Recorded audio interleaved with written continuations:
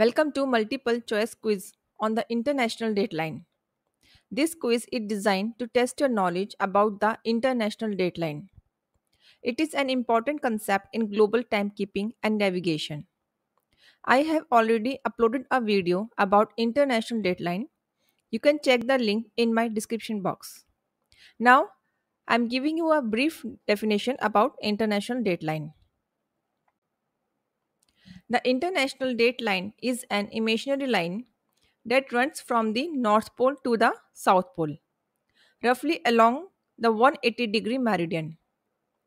It plays a critical role in distinguish one calendar day from the next, ensuring that the world's timekeeping is synchronized. Now look at this picture.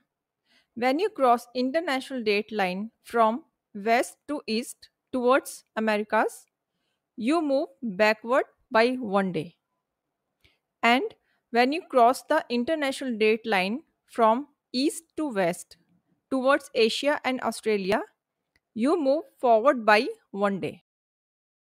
The international date line helps standardize the transition of calendar days across the world by providing a clear demarcation for where one day ends and another begins. Without the international dateline, coordinating times and dates for international travel would be much more complex. Let's begin question number 1. What is the primary purpose of the international dateline? A. To help distinguish one calendar day from the next. B. To serve as a boundary between time zones. C. To mark the starting point of the prime meridian. Or D. To divide the earth into northern and southern hemisphere. The answer is A. To help distinguish one calendar day from the next. The primary purpose of the international dateline is to help distinguish one calendar day from the next because it serves as a point where the date changes by one day when it is crossed. Question number 2. Where is the international dateline primarily located? A. Along the prime meridian.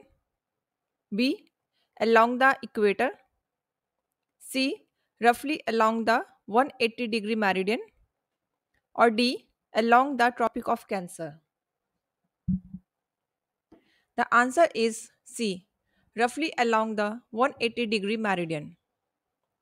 The international dateline is primarily located along the 180 degree meridian in the middle of the Pacific Ocean.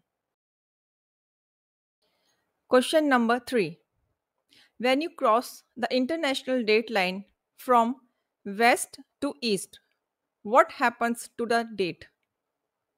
A. The date does not change. B. You move forward by one day. C. You move backward by one day. Or D. The time changes by 12 hours. And the answer is C. You move backward by one day. When you cross the international date line from west to east, you move backward by one day. It means if you're traveling to the west, you gain a day.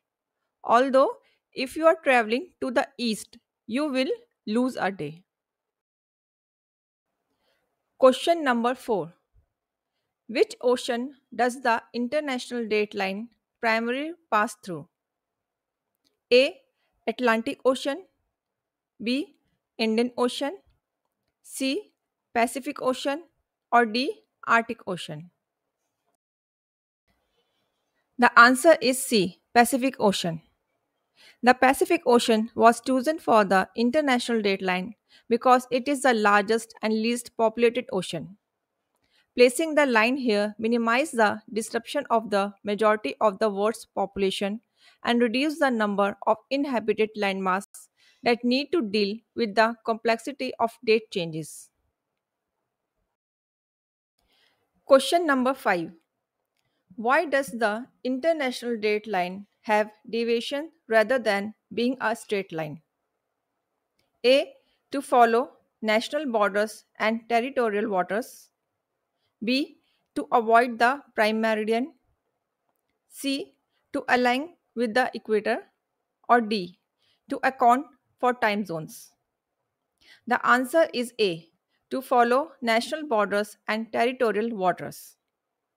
The international date line has deviation rather than being a straight line, primary to accommodate political, economic, and social consideration.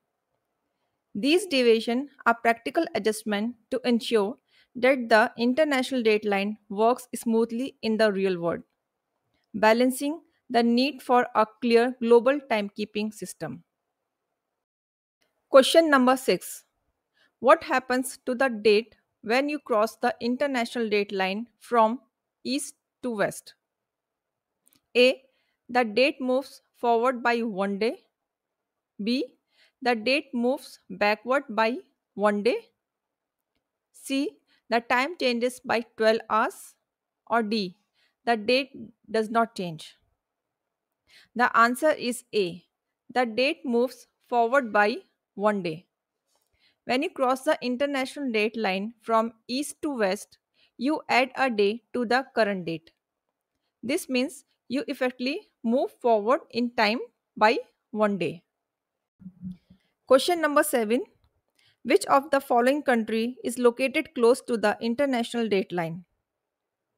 A. Australia B. Japan C. New Zealand or D.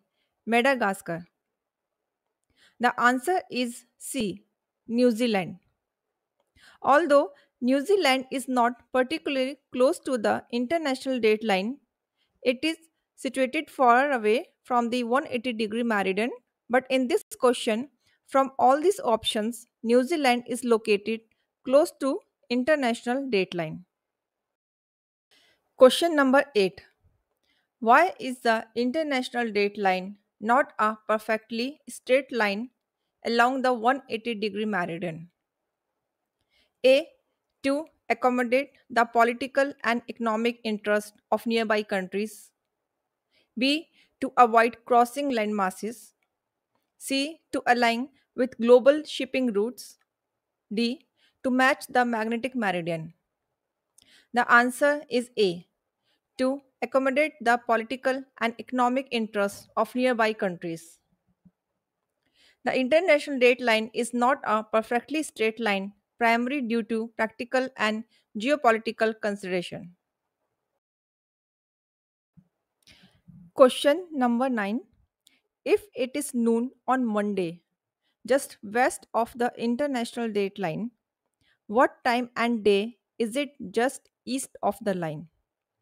A. Midnight on Sunday. B. Noon on Tuesday. C. Noon on Sunday. D. Midnight on Monday. The answer is C. Noon on Sunday.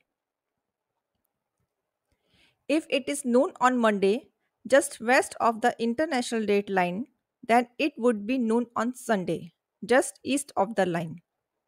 Remember, when you move east across the international date line, you move backward by one day. So, if it is Monday, just west of the line, crossing eastward means you move into Sunday. Last question, question number 10. Which of the following statements is true about the international date line? A. It follow the prime meridian. B. It is fixed and never changes. C. It runs through the Arctic and Atlantic Oceans. Or D. It has many zigzags to avoid splitting countries into different days. The answer is D. It has many zigzags to avoid splitting countries into different days. The international date line has a zigzag pattern to avoid splitting countries into different calendar days. Thank you for joining us on this exploration. If you have any questions or topic you would like us to cover, drop a comment below. Until next time, keep exploring, stay curious, and never stop learning about the amazing world we live in. And don't forget to like, share, and subscribe for more videos. See you in the next video. Thank you.